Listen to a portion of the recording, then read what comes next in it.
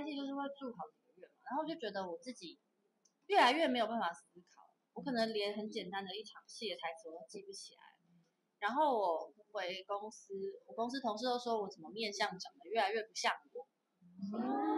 然后 我不知道，可是我没有，我没有任何感觉。有哎、我之前拍戏的时候住饭店，然后女生不是都会戴耳？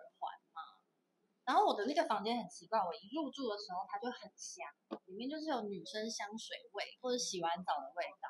然后那时我没有想太多，我知道哦香香的也蛮好的，至少你臭好，就开心的入住。然后因为拍戏就是会住好几个月嘛，然后就觉得我自己越来越没有办法思考，我可能连很简单的一场戏的台词我都记不起来。然后我回公司，我公司同事都说我怎么面相长得越来越不像我。然后我不知道，可是我没有，我没有任何感觉，我真的没有感觉。然后可能我就觉得我很累啊，每天就很累，因为拍戏很累的。然后他们就一直跟我说，你赶快去收金啊，什么看拜拜什么的。可是我觉得我好累，我没办法。然后等到有一天，我一推开我的房间门，然后我就听到地上有啪嗒的一声，然后我就本能反应就弯腰一捡起来，是我的耳环。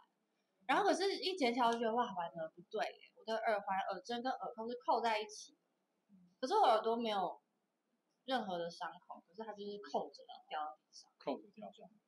很奇怪吧？然后我才意识到说，哇，这件事好像真的很严重哦。然后公司那时候就有请人帮我感觉一下发生什么事。然后那个师傅就说：“你房间是不是有两个床？”我就说：“哎，对，有两个床。”他说：“你是不是睡靠窗的那个床？”我说：“哎，对，有睡靠窗的。”他就说：“你真的神经很大条哎，他已经用任何方式提醒你要你离开了，你为什么都不走？”他说：“因为那张床是他的床，所以我已经打扰他一个月。”哇，原来我跟他一起睡了一个月，太不敏感。对我太不敏感。后来后来就是时间就是渐渐变好了，他们就越来越接受我的面相，就觉得有回来了。也没有啊，他就就跟我说，其实他他没有要伤害我，只是他觉得我打扰到他。睡到他的床。对对对，然后他用了很多方式希望我离开，但为什么我都不理他？后来就是有换了房间之后，然后那个师傅一看到我就说：“你去哪里？”我什么都没讲哦，说你去哪里？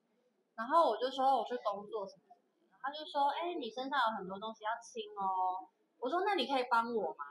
然后师傅就说：“哦，这我没有办法帮你。”然后他就说，他就说叫我要回家跟我的祖先说，我回来了，然后请他们帮我沟通。